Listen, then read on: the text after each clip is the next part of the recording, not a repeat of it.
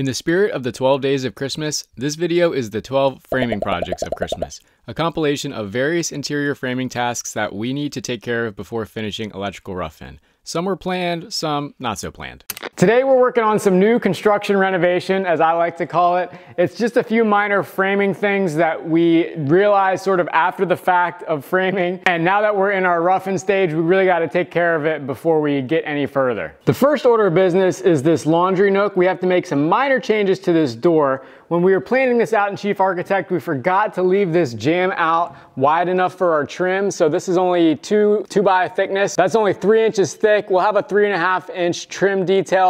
So we might be able to fit it once the door jambs here, but it's gonna look really weird right up against this wall. So I'm gonna add one more two by four to this opening. And then the more difficult part is on the right side here. We only made this opening 54 inches wide. That's the width of a washer and a dryer, pretty much exactly. They're about 27 inches each. After the fact, we kind of realized that the doors for the machines might end up hitting the jambs of the doors if we go to open them to the outsides. So more than 54 inches is really a little bit more desirable. The opening itself is more than 54 inches, so we figured we might as well open this up a little bit. I don't really care if there's not enough room for our trim detail on the inside of this wall because it is just a laundry look. You'll never be standing in here to see that. So I'm going to basically remove these two studs and add one stud over here so that we can open up our opening probably four or five inches total once we have the jambs on. That'll just give us a little bit more room for opening the doors to the machines up. Getting started on this laundry door, I'm gonna try to salvage as much as this as possible, but I'm thinking I'm just gonna make this board here my new rough opening, my rough, my rough side. So I really just need to remove this and then I gotta figure out what I'm gonna do with this. I was contemplating ripping the whole thing out and making it longer. And honestly, that's probably the most correct way to do it. But I would really rather not if I could get away with it. So this is a non-load bearing partition, literally just a two by four wall to hold drywall with. We will have a door track up here, but what I'm thinking is I'm gonna run some screws, uh, maybe toenail them because it's actually a little bit stronger in the grain. The screws will stiffen this all together. I'll do it from the top and the bottom. And then I'm just gonna cut this out and I'm gonna sandwich more material between here. So this is one solid piece and then run some like long structural screws that way, like all the way through. I think it'll be fine. That will be the least intrusive way I think of doing this.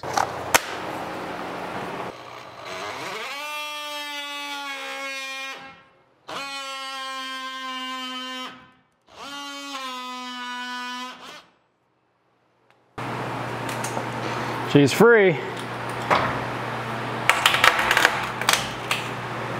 Kind of.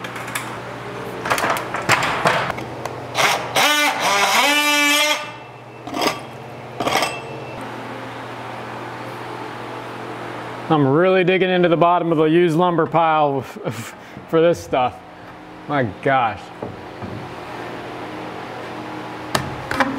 Luckily this is a pretty sturdy end wall that I'm putting this up against. Should be able to straighten it out when I screw it all together. This should give you some indication of what I'm talking about. Luckily this is just bowed, which is pretty much the easiest defect to fix in a situation like this. I'm gonna start down here where the bow's the worst, screw this thing on, and then use the board's leverage to straighten itself out after I've got this bottom part fastened.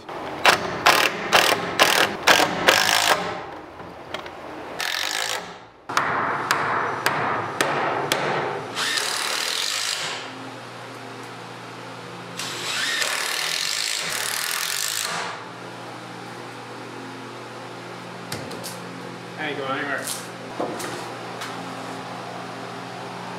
That's a good snow fit. I guess the mic wasn't plugged into the camera, so this audio is terrible, but what I was saying was that the spacer is made from a piece of 5 8 roof sheathing along with a 2x4, making for a total thickness of 2 and 8 inch, which is what I had measured the gap at. However, there's always an infinitesimally small space between boards you can never close, so that's what was fighting me here. Even a couple screws to sandwich the spacer wouldn't do the trick, so I had to go down from 5 8 sheathing to half inch plywood, which slid in perfectly.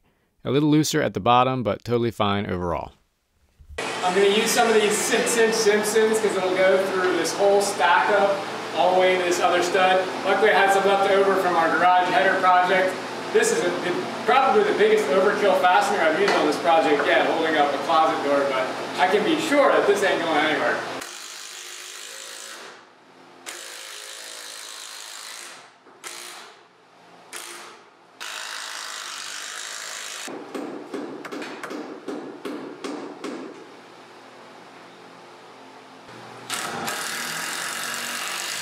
Laundry door is done. That just feels a lot more open, honestly, not even measuring it. So that is gonna be a good improvement.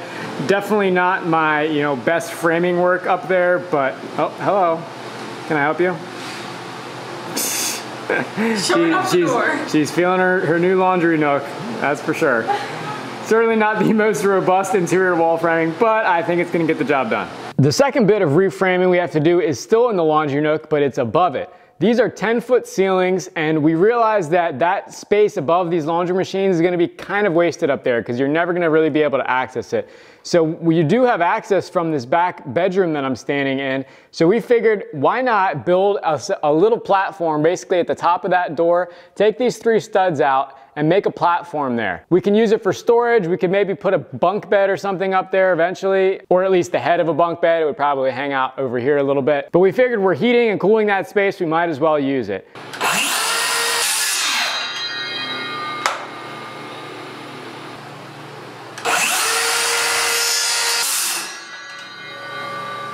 Here I'm copying the layout of the studs from the bottom plate.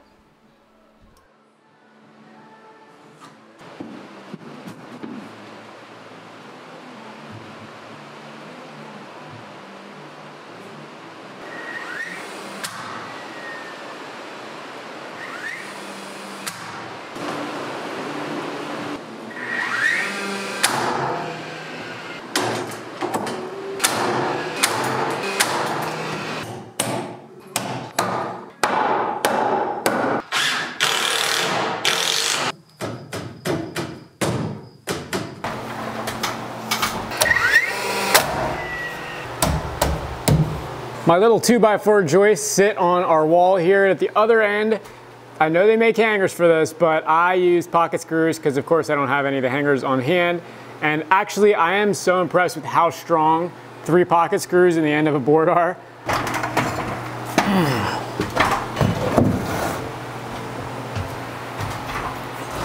Thirty-one and thirteen sixteenths.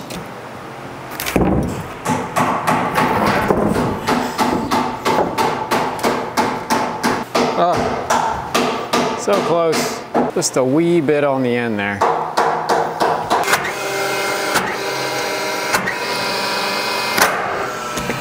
And there you have it folks, a completed storage platform. On to the next project. The next little framing task is in our bedroom closet this is to increase our storage space a little bit in here. It's certainly not the biggest closet in the world, and I didn't realize in my plans that I had spec this closet wall as a two by six wall. I think it was because it was underneath this big beam right here, which made the most sense because it's almost the same width. But regardless, it's a closet wall. It doesn't really need to be two by six. It's not load bearing or anything. So instead of just leaving this hollow or filled with insulation when we put the drywall up, I'm going to make some niches out of this little stud bay space here. So I'm gonna cut that stud about a foot from the bottom. I'll cut it up top, six feet from the floor, and then I'm gonna do the same thing over on this side with this guy. This one's a little bit trickier because I have a light switch here now. I'm gonna have to sort of cut this out and then move it right over as the side piece. So this one's not gonna be quite as wide. But we're figuring we can put like shoes in there, like sort of downwards, or um, belts, ties, hanging jewelry, stuff that can kind of get recessed into the wall and just use this storage space a little bit better.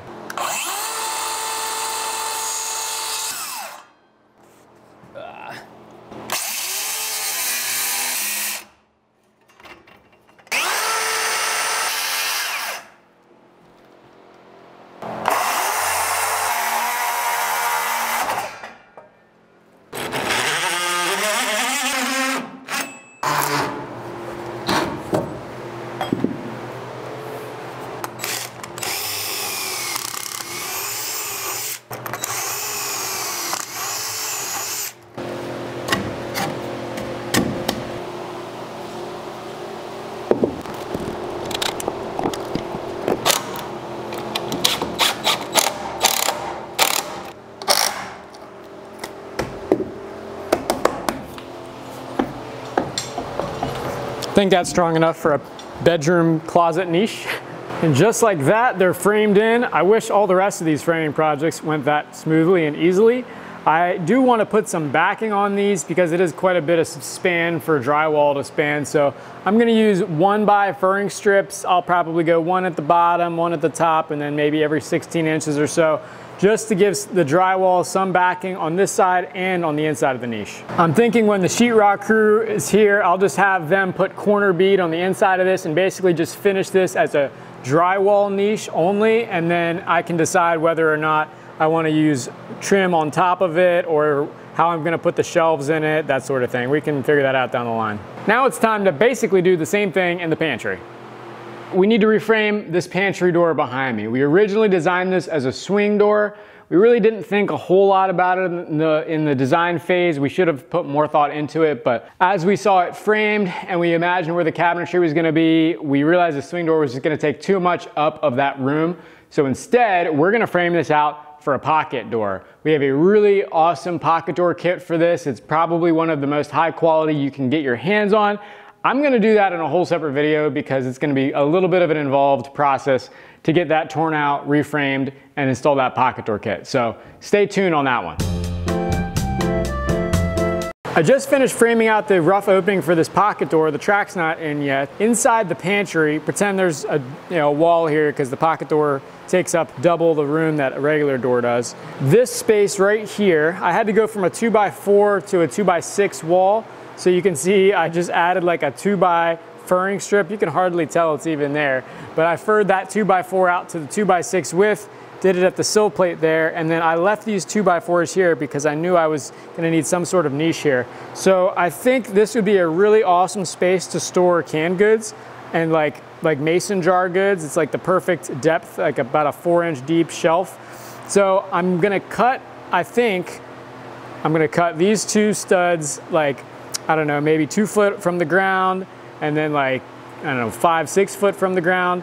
And I won't come all the way out here because I got an outlet I got a frame out, but I think I'm gonna have to put a, another stud here and then another one here to make sort of a, a, window. And then I'll put the same one by furring strips along this outside wall here so that we can still sheetrock on this and, and sheetrock on the inside too. The one caveat I gotta remember here is this is a little dry bar out here. So there's some cabinetry here and whatnot. I need to remember to leave something to screw my cabinetry to, first off, but then also we're planning on doing some floating shelves above the cabinet. So I have to leave enough structure here to be able to fasten those floating shelves to. Of course, I'll have the door jamb and I'll have that end stud, but I'm gonna have to make sure that whatever I frame out here is sturdy enough to support those floating shelves.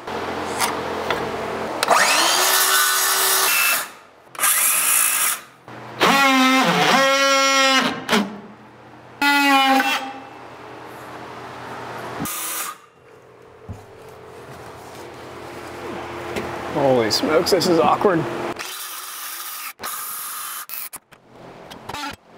Pressure of the saw makes it want to bind and kick back if you try to go all the way through it with the circular saw. Got to put on the furring strips.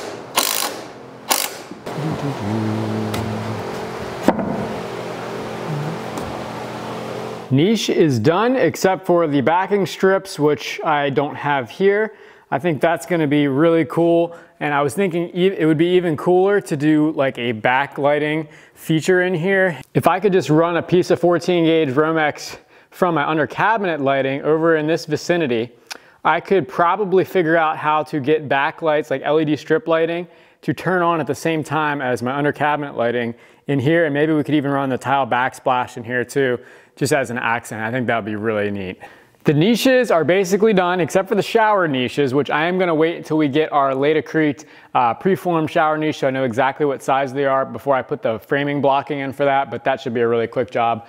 The next task on my list is blocking in these long ceiling joist spans up here. These are two by eights, but they're spanning probably almost 20 feet um, from end to end. So when you get up there, you're really wobbly to walk on. There, there's a lot of flexion in the board. So I want to put a row of mid-span blocking that helps stiffen up the whole diaphragm. It allows essentially sharing of load between the, the joists rather than you know singular load. So once the drywall's on there, it will help stiffen that ceiling. And if I'm ever up there walking around in the future, which is likely, I won't be relying on the drywall to keep the joists from shifting around, which could cause the drywall ceiling to crack. So let's put the blocking in now. I'm just gonna pocket screw um, all the blocking in. I like that connection better than like end nailing with framing nailers. It will be a lot better. If you look closely, you can see we did the same thing on the roof rafters up there. Those are just nailed in, they're staggered to make that happen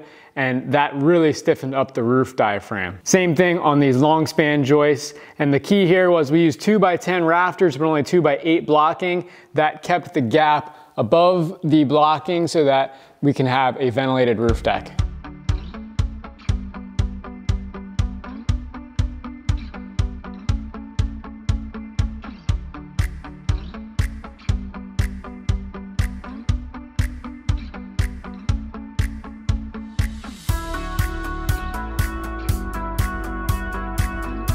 The next project was to add furring strips to the bottom edge of the rafters in the dormers to accommodate more insulation. These ceilings are permitted to have slightly less insulation than the flat ceiling because they are cathedral style and limited to a small area relative to the main ceiling. Furring these down with an inch and a half strip allows us to use a full batt of R38 rock wool and still maintain a one and a quarter inch airspace above for ventilation. The same will apply for just this little bit of slope ceiling here where we meet the back wall. This is just one small consequence of using dimensional lumber and a structural ridge rather than like an energy heeled truss is the available room for insulation is definitely a little bit less and we have to make a little bit more accommodations for it on the back end. But there was no real other way to frame a house like this. The structural ridge was the safest way to go. We could have used like I joists to give us more ceiling depth in this cathedral ceiling, but that would have literally broken our bank. Fun fact, our I-joist floor system was the single most expensive line item for framing, with the joist alone coming in at nearly $6,000. Adding a spacer to the underside of the rafters was a much more economical solution. I'm actually using scrap 2x4s that were too bowed and twisted to be used in walls, and giving my old Craftsman table saw a major workout ripping down a ton of them. Elaina got all the screws started for me and then I hung each strip up.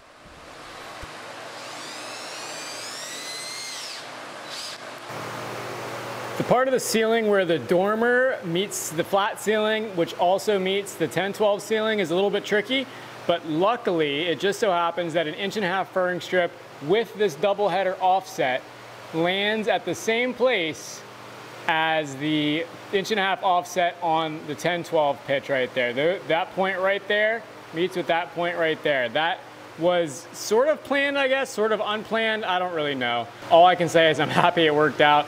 We can just cut regular two by two strips and I'm just basically beveling the end. I took an angle gauge to find this very shallow angle and I'm just cutting those little pieces on the table saw. Check out my OSHA approved scaffolding system.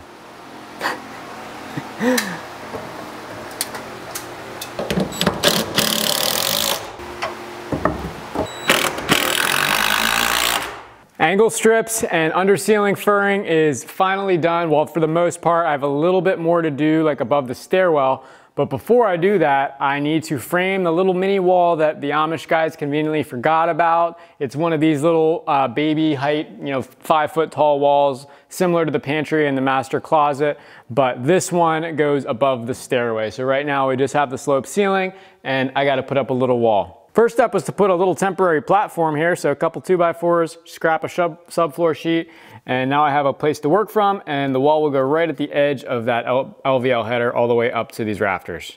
Got to offset this ledger a little bit so that my plumb line doesn't interfere with the corner of this board. To do the plumb line, I just took my six foot level straight up from the face of my LVL, put a line on my rafters, and then I'm, I basically just eyeballed this until my plumb line cleared the corner of this board right here. Then I'll sort of build this thing in place right here in the wall, get the angle right, we'll be good to go.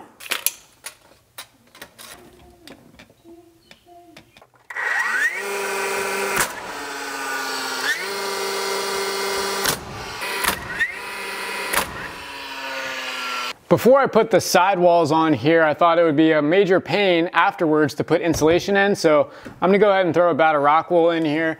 I actually probably should have put it in before I even put this guy on, but it'll be even harder once I put the sidewall on. I'm just gonna try to slide her up in here.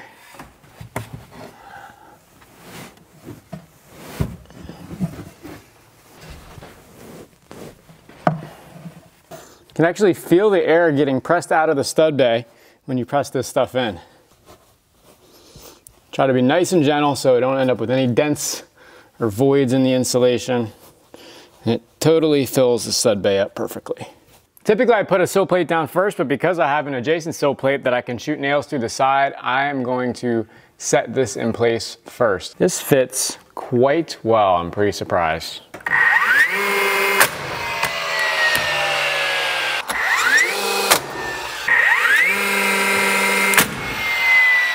I'll put a 26 inch rough opening centered in the door. So I'm just gonna nail on these little eight inch mini sill plates and then I'll do full king studs all the way to the subfloor like I did here, nail them sideways into my sill plates, and then just put a flat header up top and nail it in.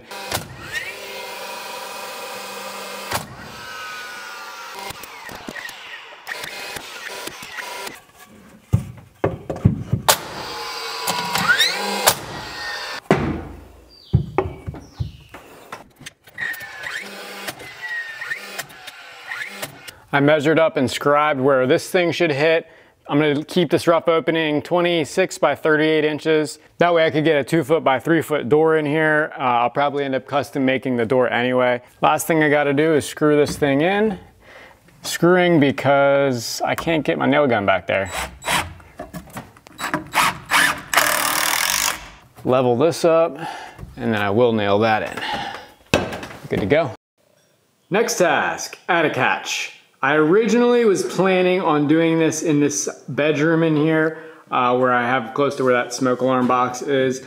But I learned the code requirement of needing 30 inches of headroom above the ceiling joist, which I just don't quite have there. I would have to really squeeze it over this door and it's just gonna look kind of like crap. So it'll make more sense to put it in the hallway, even though I think it's going to be not the best looking thing. I'm gonna get a flush mount access door to make it as low profile as possible bestaccessdoors.com is where that's gonna come from.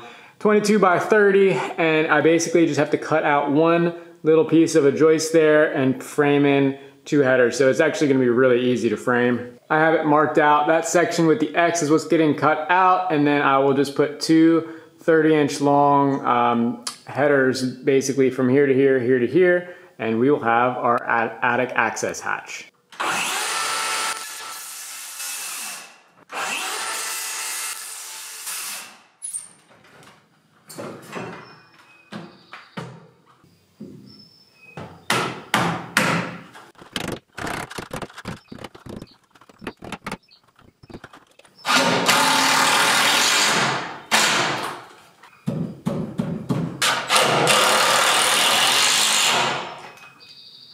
Attic hatch is done. Next, pantry door.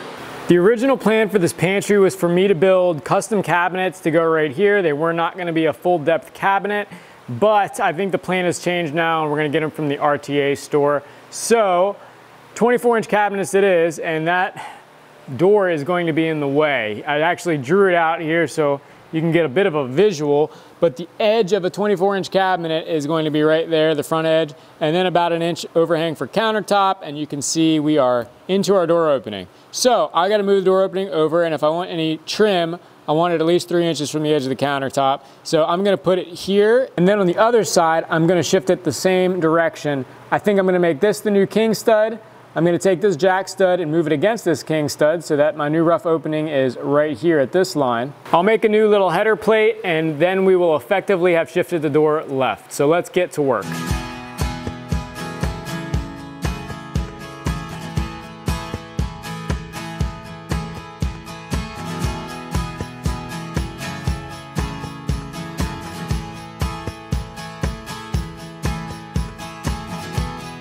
Well, it's all done, and honestly, you can barely tell that it even changed. You would not know unless you looked really close.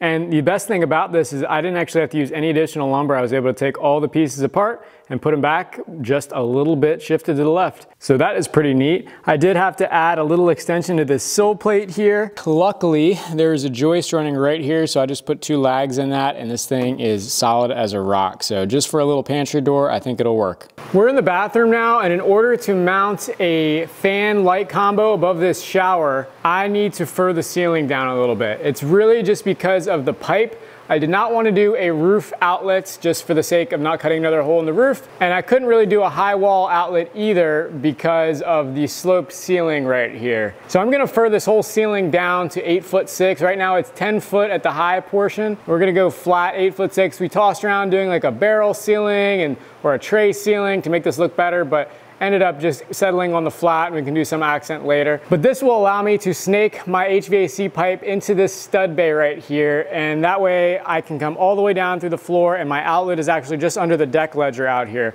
I did that before we did siding. It's not the most ideal run for a bathroom outlet, but part of the reason why I don't want to just come out of the top of the wall after I fur down is because of our vented soffit. I don't want to be dumping hot, moist air right next to our roof vent where it's gonna come right up into our vented attic and potentially put moisture on the inner, underside of our roof sheathing. So instead we're gonna go a little bit longer out, a little bit more elbows, but I think it'll be a more robust solution in the long term.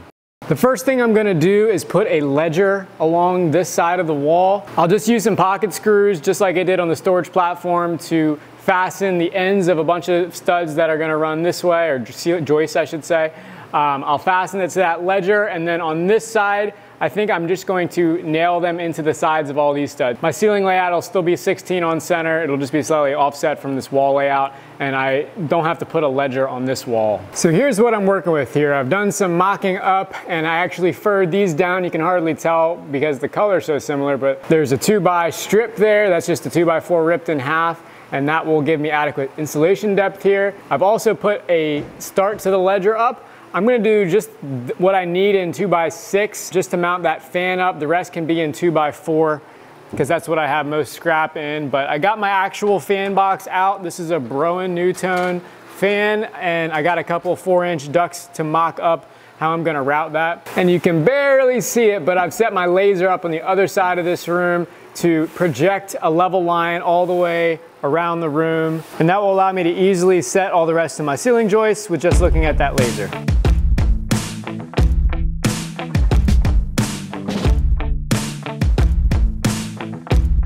The laser's mounted up with our clamp there, even with the bottom of the ceiling plane.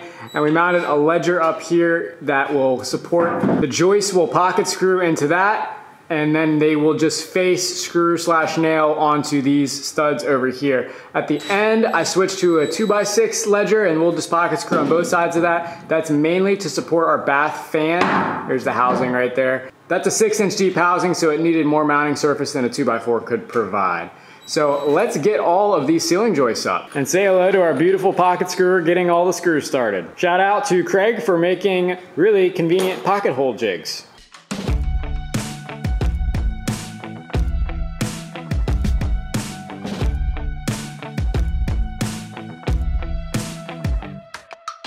That was the easy part, getting all those on. Now we are into something a little bit more difficult, which is the last two by six that's got to fit this fan. So I've marked the center of the bathroom right there, and then I've sort of mocked this up so that the fan does not hit that rafter at the same time that it's basically at the right height at the ceiling. And then it's also got to be far enough over this way that it's centered in the shower.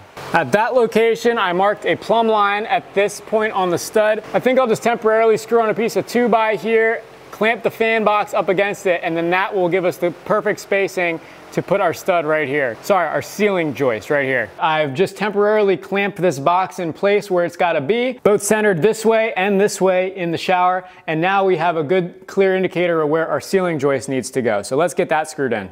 All right. Our clamp is in our way. Oh no, it should be far enough down. I just have to. Make sure it fits first. The elevation of the box might have to change. I didn't, that was a guesstimate, so. We're just trying to get this mounted. This is a very dirty board. Yes, but it's a very straight board compared to the other ones. We want to make sure it's square, so both. You're probably gonna have to hammer that side in. There's a little It gap. definitely needs to go more on your end. You got to the inside at 28, 28 and three quarter. Yours says 32, so you just gotta come in quite a, quite a bit on your end and quite a bit out on my end. Yeah.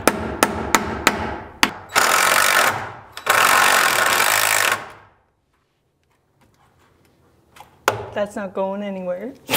We're clamped into place now that we have our joist in. I'm gonna just go ahead and screw through the mounting flange on the back side. After we insulate the ceiling, I'll put one or two more ceiling joists on the other side of the fan to support the drywall. Another lingering task I wanted to take care of was flattening the walls where we will have cabinetry and tile. Our framing has had plenty of time to dry out, and some of the studs have crowned, bowed, and twisted in the process. To make life easier when cabinet and tile installation comes around, I went around with a level to inspect the studs and left Sharpie notes on studs that were out relative to the rest. Then I came through with the power planer to shave these parts down. This little bit of effort up front goes quite a ways when it comes time for final finishes. I did the same thing on groupings of studs and rafters that weren't quite flush with one another so that the drywall would sit flat on them. And that's a wrap for the 12 projects of Christmas. As always, thanks for watching and we will see you on the next one.